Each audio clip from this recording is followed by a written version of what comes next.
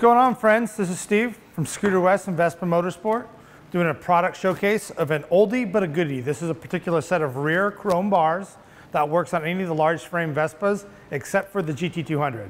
So any GTS, Super, or GTV, these are an excellent solution for a high quality, German-made chrome set of rear bars. The part number on the Scooter West website is GTS12P.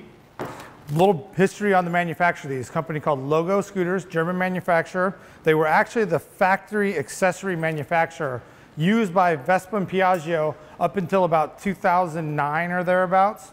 Piaggio, for whatever reason, severed ties with them, redesigned all their accessories, went with a different manufacturer. We've sourced this manufacturer in Germany, and we still actually offer these products. Well, I'm going to show you, first of all, what you get when you get this set of bars, the GTS 12Ps. You get a set of semi-confusing instructions. The pictures are nice. You expect a little bit more out of Germans as far as transparency. But we're going to, for the most part, just kind of crinkle these instructions up, and we're not really going to use them. Maybe reference them in some, some capacity. Hey, check it out. Pizza all the way from down the street. Oh, it's an Al Pacino. You got to show them that. Canadian bacon and pineapple.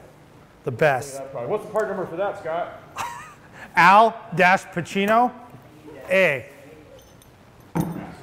Nice. We'll be right back for cut. Smells good. So you get the two bars, the left and the right. You get a hardware set which has some extra bits in there. Um, again, these aren't the most transparent or easiest of all the bars to install. They're definitely doable. You can figure it out. Everybody loves a challenge. That's what we like about our customers. They love the challenge of fitting some of this stuff.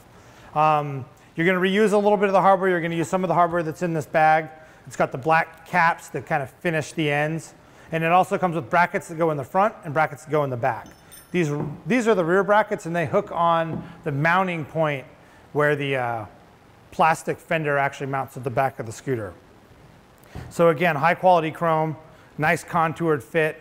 Um, the, other than the difficulty in installing them, they're hands down my favorite bars, just in how tightly they contour the bike. And I just think they look really good. So we're gonna cruise over to this white Super. We're gonna show you these bars actually installed on the scooter. So you'll notice the front mounting point essentially utilizes a bracket, this bracket as it fits back behind there, and that's what ties in that mounting point. Nice, tightly contoured, good fitment. Notice that if you position these just right, you can actually leave the US uh, spec, North American spec reflectors on there if you so desire. We tend to prefer to just take them off because they look so bad, but to each his own. And then you'll see back here the bracketry as it kind of hangs down. This is essentially this bracket up in there to support the back of the bars. And then I like how they wrap up and around the tail light and then they kind of join together. Some people whine a little bit about that flange. I don't know. I think it looks great just the way they kind of contour and wrap around. The other cool thing is how tightly they fit to the body. So many of the other bars have such an excessive gap, which has its advantages and disadvantages. But as far as just overall clean installation, I think you cannot argue with these. So again, these are the German-made logo bars, part number GTS 12P, available at scooterwest.com. Thanks so much for watching. We'll see you on the open road.